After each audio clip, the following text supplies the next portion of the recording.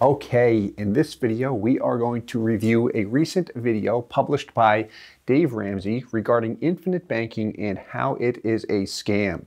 So if you had a chance to view the video, you likely saw that the talk is mainly about whole life insurance, but the infinite banking concept does 100% revolve around a dividend paying whole life insurance policy, which we all know Dave Ramsey's thoughts and opinions on whole life insurance.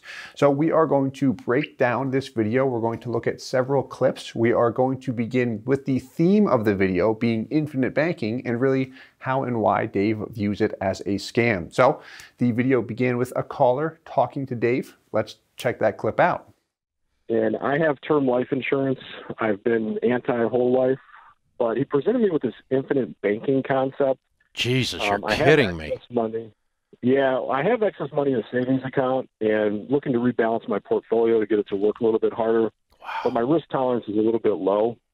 And he showed me how you can do this where you overfund the whole life policy, yeah. you can access the money, you break even in year seven, and then yeah. the dividend outruns what you put into it. Yeah, it's a it set. doesn't seem like a terrible idea in that regard, but I just wanted your your take on yeah. why you know that might not be the best.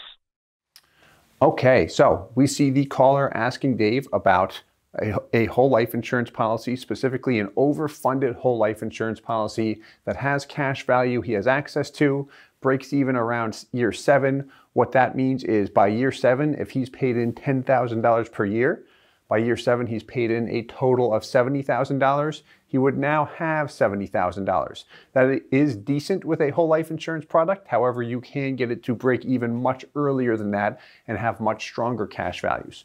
But what's interesting is when the topic was brought up, infinite banking. So the caller said, hey, the agent pitched me with something a little bit outside of the box, infinite banking. So let's just hit on this point right here. What is infinite banking and how does it relate to a whole life insurance policy?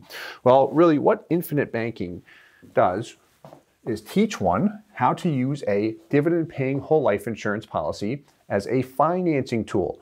The best means to illustrate this is often with real estate. So, for example, let's pretend that you or I own a piece of property and that property appreciates at 5% every single year like clockwork. Regardless of what happens in the economy, the real estate market, your, your property, your real estate just goes up by 5% every single year. Now, if you own that property free and clear, will you still receive the 5% appreciation on the entire home value? Of course.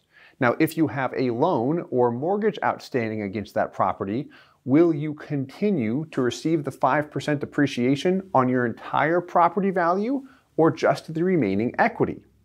Well, I still get it on the entire home value. That's how real estate works. That's why many people are attracted to it. So how that ties to infinite banking and whole life insurance, infinite banking teaches one how to take control of the banking function in their life is you will find a whole life insurance product works in the exact same manner.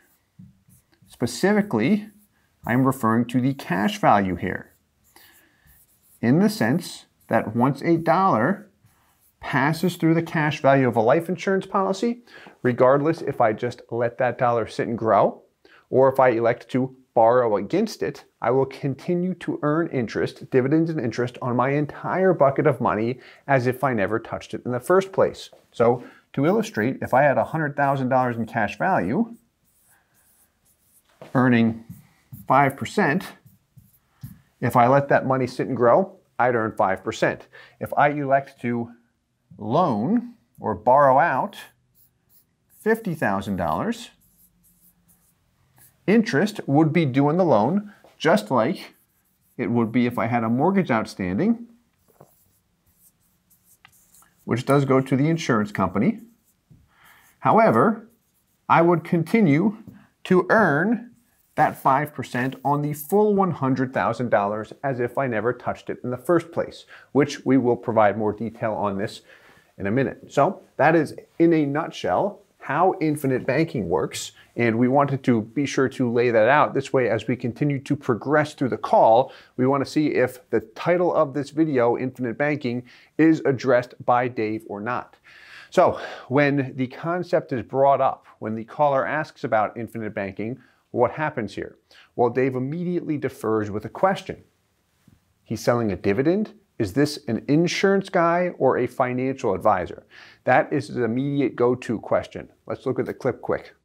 Well, the the problem is that you, where it gets confusing is that, um, God, he's selling a dividend. A financial advisor? Is this this is an insurance guy? Well, he's he's both. They have, you know, it's one of the bigger companies. Um, yeah, like Northwestern a, Mutual or Prudential. Exactly. Yeah. Okay. He's an insurance guy. He's not a financial advisor. Okay, I was about to okay. Say.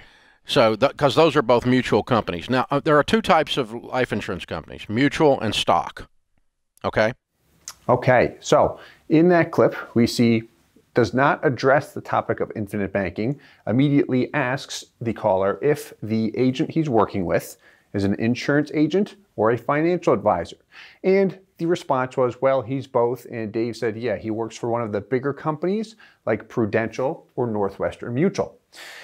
And he continues to go on talking about how Northwestern Mutual and Prudential are two of the biggest companies in the country, in the world, actually, because they are massive sized companies, and that they are both mutual companies.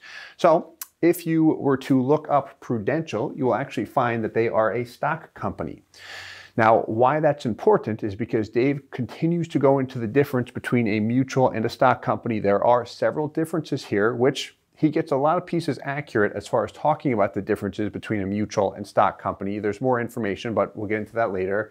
However, it's important to note that Prudential is a stock company. In fact, let's take a look here. So there we go, Prudential Financial, insurance company, don't need to go much further than just the first page of Google. There is their stock price. Looks like they're doing well today on December 1st. So he then goes into how dividends work with a life insurance policy. And really, that dividends are a deliberate overcharge from the insurance company. That's when that's why when we receive a dividend, really what it is is a refund from the insurance company of premiums that they had already overcharged us for, per the language from the IRS, which is accurate there. That is how and why cash value life insurance remains tax free in a lot of ways. Why so many people are attracted to cash value life insurance is that if we do everything properly, we can grow that cash value and access that cash value 100% tax free. Now, a couple items on this point with the tax favorable treatment. One, we mentioned we can access the funds completely tax free, which we can. However, any life insurance policy can become classified as what is called a MEC. This stands for Modified Endowment Contract. If a life insurance policy becomes classified as a modified endowment contract, the cash, uh, excuse me, the cash value will grow tax deferred and anything I access in respect to the gains, I have to pay ordinary income tax on and an additional 10% penalty tax if I touch it prior to age 59 and a half. That is if I violate this limit and my policy now becomes a MEC. It is easy to avoid, but my point to mentioning this is yes, cash value life insurance policy is utilized tax-free and the langu language from the IRS states the reason why is due to the overcharge of, of premiums and a refunded dividend, which is just overcharged premiums. That is the language. However, it is that language so the product can still remain tax-free.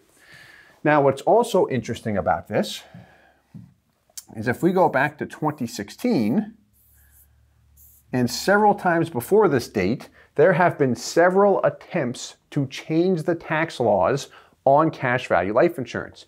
In 2016, when Trump ran for office, in his campaign, I remember looking this up, and everyone in the insurance industry knew this for the most part. It was stated that the rules on cash value life insurance would be adjusted in his new tax proposal, meaning he wanted to tax the cash values of life insurance policies. Now, what was so interesting is when he got into office, that was proposed, but it was pulled out so, so quietly. The new tax proposal, or the revision, I should say, more or less stated cash value life insurance treatment will remain the same right? Because what goes on as far as maintaining that cash value, that same treatment, keeping it tax free is very, very, very valuable for people in Congress, lobbyists, big banks, corporations. The amount of money there is absurd. The ultra wealthy, big banks, and corporations have been using this forever. So, changing that status would ruffle some feathers, to put it lightly. So, let's continue on here. On this point, he did talk about the dividend, dividends. He was accurate, but he left out the reason why it is considered a deliberate overcharge of premiums. That's important because that's where the tax favorability comes into play. Now, here he talks about policy loans. So let's look at the clip real quick. The caller had a question on this. Uh, you'll see the caller did not like the fact that he had to pay interest on his own money. Let's take a look. So, yeah, Yep. The thing I didn't love is, you know, you when you take the money back, you basically are paying an interest rate on it. exactly. And are, who, whose money are, is this? Right. That you're right. borrow you're borrowing your own money and you're paying them interest. Yep. This is so infinite banking for them. Yeah. Yeah. The infinite banking yeah. concept is is old school, whole life, done poorly. You need a real financial advisor, not an insurance broker that's trying to sell you a load of manure.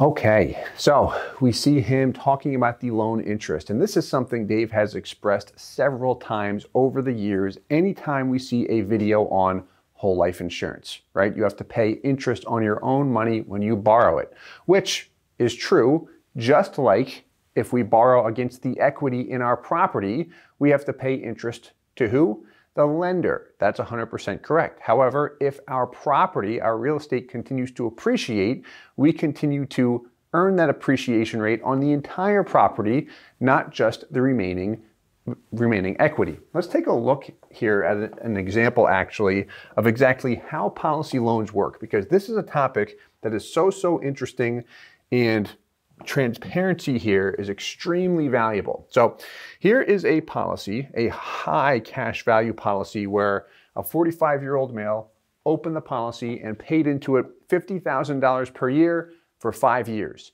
His goal was purely cash value. So on the left, we have an example where he just pays money in and lets it sit and grow.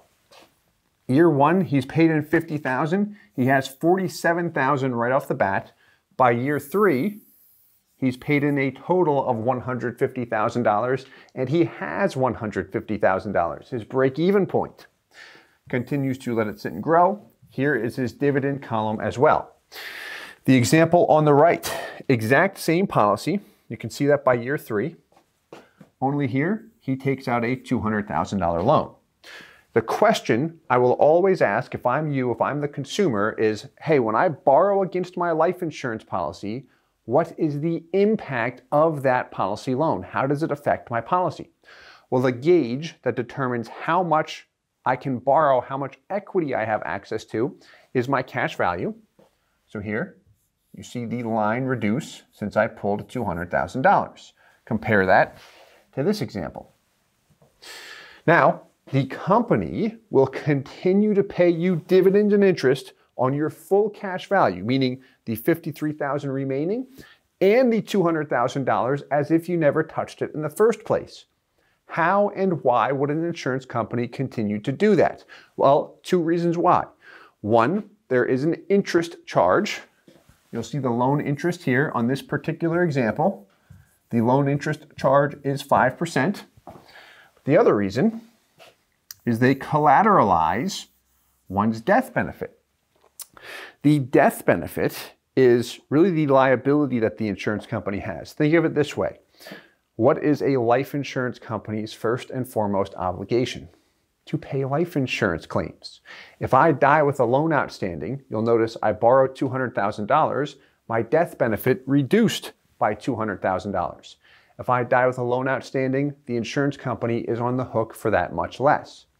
Now, paying back loans are optional. I do not have to do it. The interest would continue to accrue, and you would see it slow down the cash value growth and also deduct from my death benefit each year if I did not pay it back. However, here we are going to pay it back at 50,000 per year, which we can pay it back in any pattern or scale, any method that we want.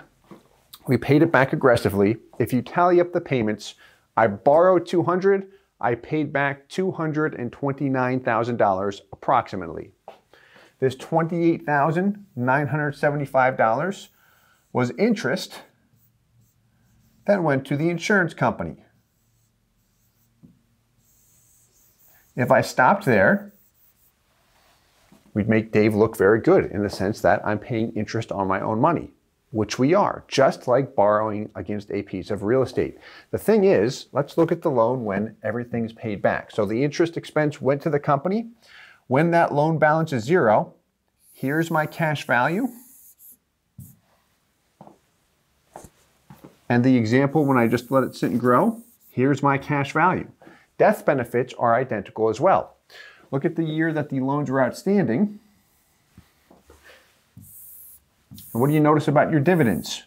Identical all the way through, meaning the company continued to pay the same dividend on any money in cash value and any money I had borrowed from the policy. Another way to put it is that there is no lost opportunity cost here. Things keep on going forward, exactly what I want to see. So that is a quick overview of how policy loans work. We've got a, a, lot more material if you'd like to dig in, or you can reach out to us anytime as well. Let's continue on here. So he did mention something about infinite banking being old school whole life insurance done poorly. Now, that comment I would disagree with. Uh, the reason why is when I think of an old school traditional whole life insurance product, I think of a policy where I pay a premium I have a death benefit and zero cash value right off the bat. Nothing.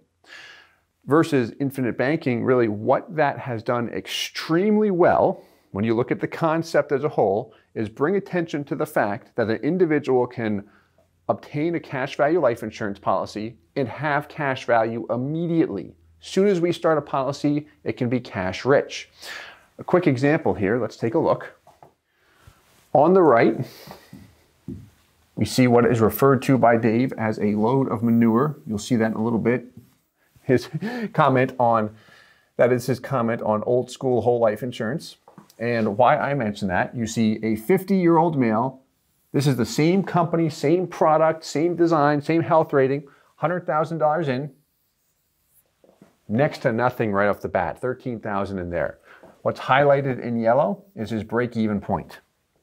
Then you see a standard infinite banking policy. Why we called it a standard policy, this is very similar, likely very similar to what that caller was proposed. What I base that off of is this represents a break even point of year seven, just like the caller stated. By year seven, I've paid in $700,000 and I have just over $700,000. But then the thing is, can also take a policy and optimize the cash value. Where right off the bat, same dollar figure going in, 88% in year one, break even point year four, positive from that point forward.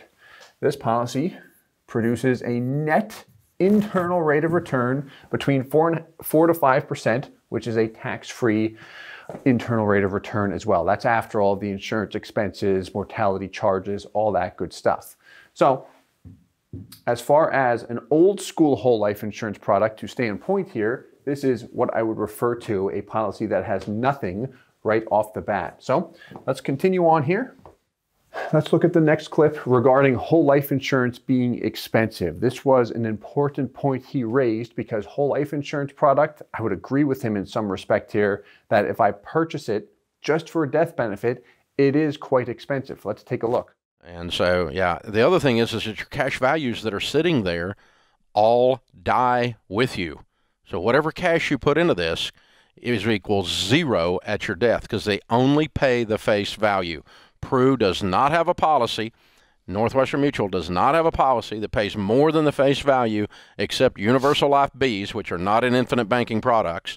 And Universal Product B is where they charge more than they usually charge, which basically buys the insurance so they can still keep your money, is the way the math actually works on this. So you're dealing with one of the most expensive insurance products in the marketplace. If you're dealing with either one of those two companies, I would stay completely away from both of them. They're um, everyone in the financial field except people that work for them. We all think they're a joke. Okay, so Dave raised a number of points here. Let's go through a couple key points. One, he mentioned when you die, the company keeps the cash value. So, how whole life insurance works, we've got videos directly studying and explaining how whole life insurance works regarding the cash value and death benefit and how the net amount paid out to beneficiaries is actually greater in the death benefit. But I'd encourage you to watch that video if you want a full explanation on that. To give a quick example, let's look at this example here. So what happens as my cash value grows over time? Cash value is growing when he pays nothing else in, not even the premium. He stopped after 10 years. Death benefit is increasing as well. I have access to my cash value all the way through. That is the equity I can access. That's my safe area to position money. But if I die, the greater amount is passed to my heirs, my beneficiaries, in the death benefit. It continues to appreciate over time. A simple way to explain it is that they grow together. So if I die, on paper, the amount paid out to my beneficiaries is the net death benefit, but that net death benefit does include the growth on cash value over time. Very important to make that clear. Let's continue on. Then he mentioned Universal Life B products being the only products that pay both the cash value and death benefit at death. And then he mentioned Prudential and Northwestern Mutual both being mutual companies again, offering the most expensive product. He's referring to whole life insurance here. Actually, what you can see on the subheading of the video is agent trying to sell me an overfunded whole life insurance product. But he talks about Prudential and Northwestern, expensive product. But again, here's the point here. Prudential is a stock company. You'll see why I'm so adamant about that as we continue on in his video. But another thing is that Prudential does not sell whole life insurance. When you look at Prudential as a company, they offer term life insurance and three different types of universal life insurance. In fact, let's take a look here because this is interesting. So before we had Prudential just there on our Google search here.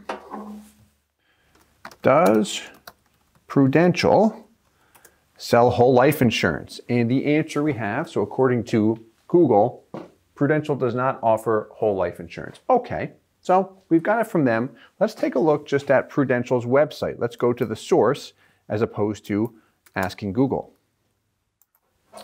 Okay, so on Prudential's main website, let's click on life insurance.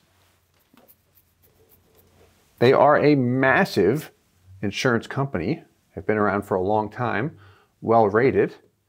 But let's talk about different life insurance coverages. That's great. Here we go. Find the right life insurance solution. Learn about term and permanent life insurance. Whoa.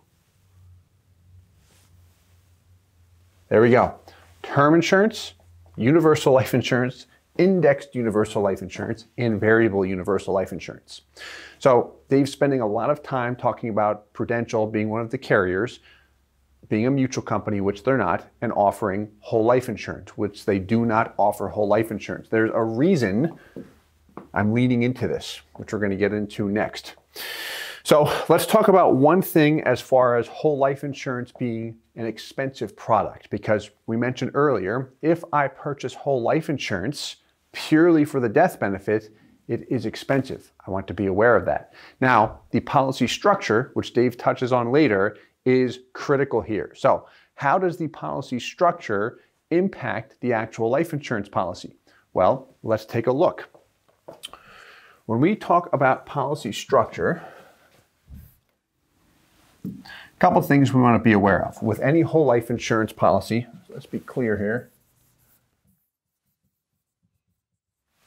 What do I have? I've got my cash value, and then I have my death benefit. Okay. When I pay any amount of money into a policy, my money can go toward one of two areas at the end of the day. I can allocate money toward the insurance premium, or toward what is called a paid up additions or PUA rider. Understanding the relationship of these two areas is critical. So let's simplify this a little bit. The premium piece I'll often refer to as the insurance expense,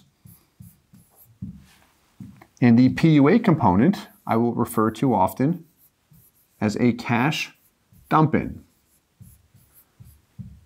So again, looking at the relationship of these two areas, how do they work?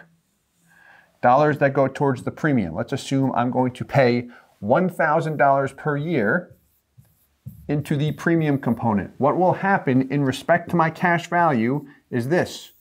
Typically, I will see zero show up in cash value for the first year, and with most products, the first and second year. The reason why is that the insurance company is going to overcharge me for the death benefit up front. That may purchase me perhaps $50,000 in actual life insurance. Now, as time passes, as I continue to make those premium payments, once I hit the third year with most products, I'll see that thousand I pay in comes back to cash value. That's money I can access begins to yield dividends and interest, gets better and better. But right off the bat, I'm behind the eight ball. It takes time to pick up the pace. And that's why in that last example we saw with $100,000 per year going in into that traditional policy, the one titled load of manure, took 11 years to break even. Versus money I pay towards the PUA component, if I pay the exact same dollar amount down here, what I'll find is just about $1,000 will show up in cash value. That's money I can access.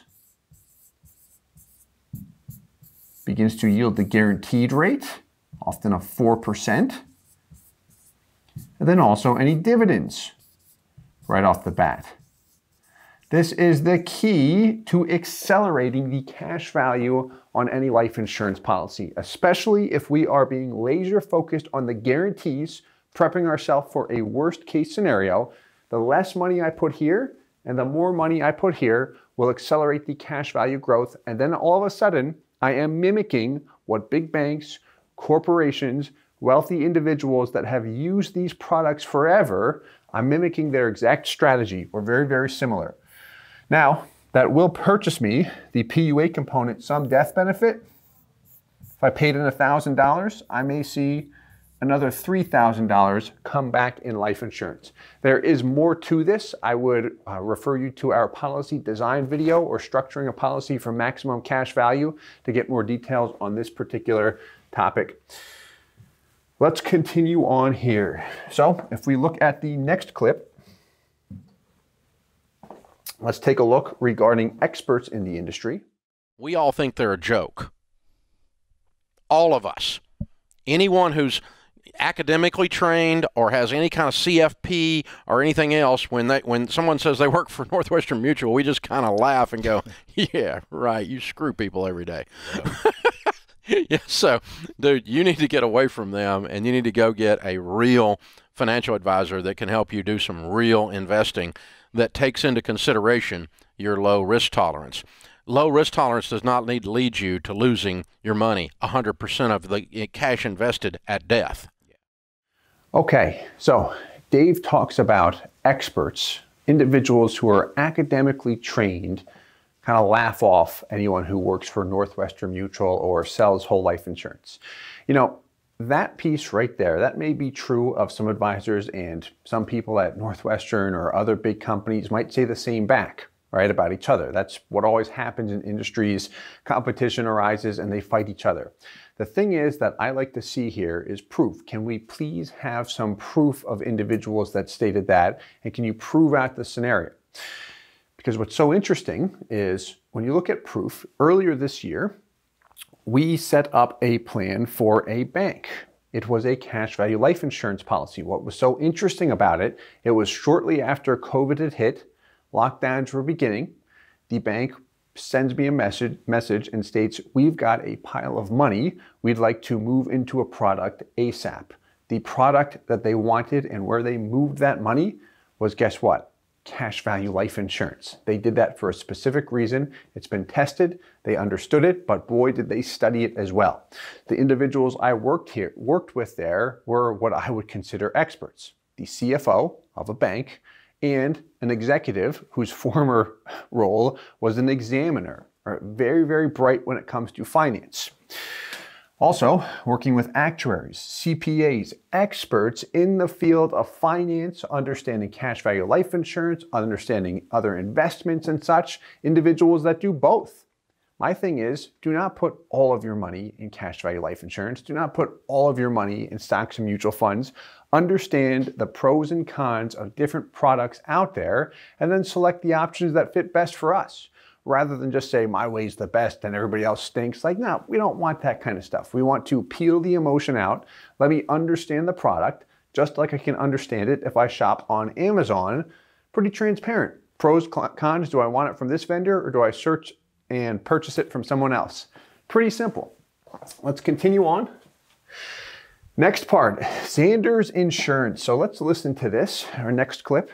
So when you go to a quote service, like a Zander Insurance and you get quoted on term life insurance, you're going to find no mutual companies in the 42 different companies that they give you a quote from yeah. because they're not no. competitive. That's it. Why? Because they charge more so they can give some of it to you back later and make you feel like that you got something. that's really what it amounts to. And that's why you won't find them. They're not competitive. Yeah. Dave, you, you fired up about this one. Man, I tell you what, pisses me off.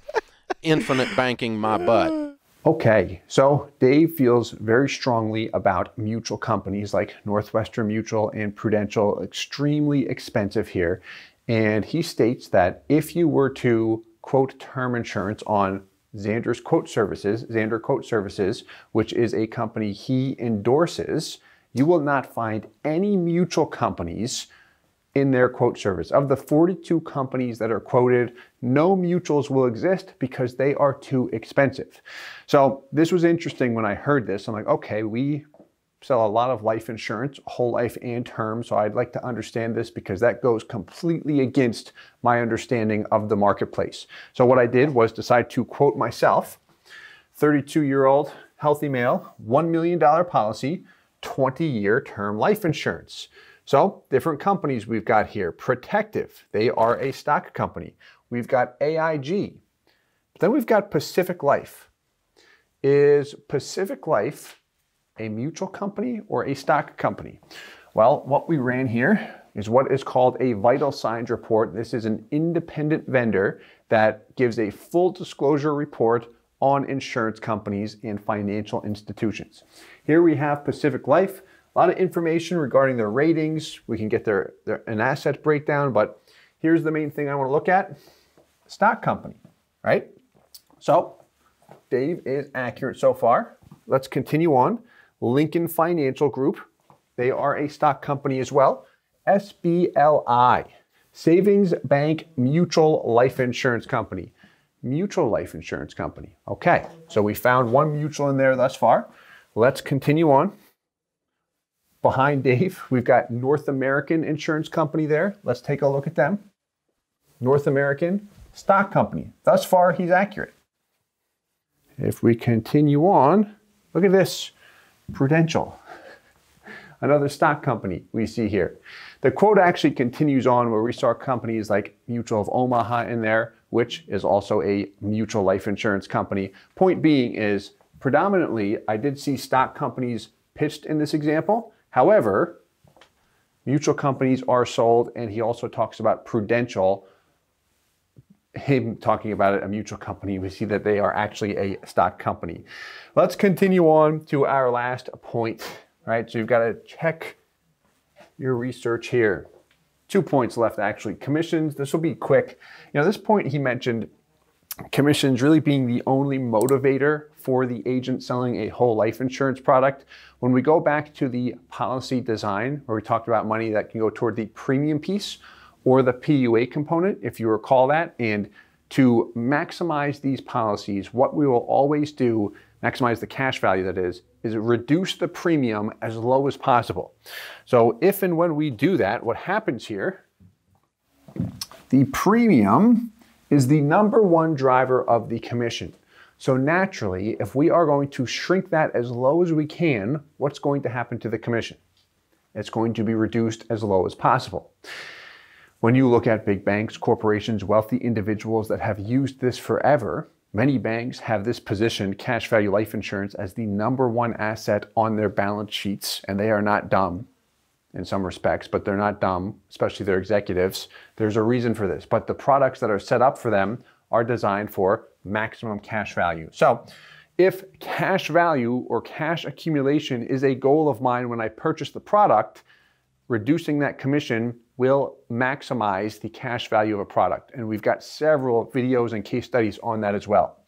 The last thing here, this is more emotion where he talks about the gut feeling right? That the caller had this gut feeling that something was wrong, right? Pure emotion here. And we can really pitch that about any product or individual.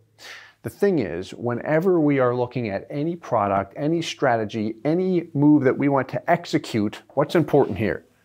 We need data and we need accurate information. That's how good decisions are made by us as individuals and companies. We need solid data where in some respects you could say Dave has discounted himself in this video is he constantly referred to Prudential being a mutual company and selling whole life insurance, neither of which are true.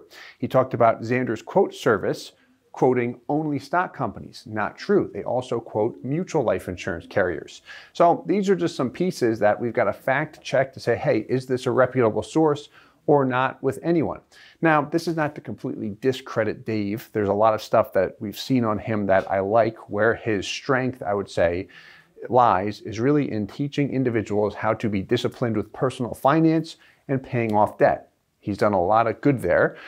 So we can certainly gather good from him. The issue here is we've got someone who's an expert in the field of personal finance and debt and trying to speak intelligently and promoting themselves as an expert around whole life insurance, a cash value life insurance product, which there's a lot of moving parts that can be complex. We've got to break it down properly. So again, my advice here would be to do your due diligence, look at different options, see if it is a fit for us, whether it be cash value life insurance, term life insurance, mutual funds, real estate, how do I use them all together and put myself in the best position possible, really by emulating and copying the ultra wealthy. So as always, I hope this helps. If you have any questions at all, feel free to reach out anytime and we'll talk to you soon. Hey guys, Steve Parisi here. If you enjoyed the content you just saw, please subscribe, like, and hit the notification bell for future videos. If you'd like more information or to see some custom policies for yourself, feel free to call or email our offices at the contact information below.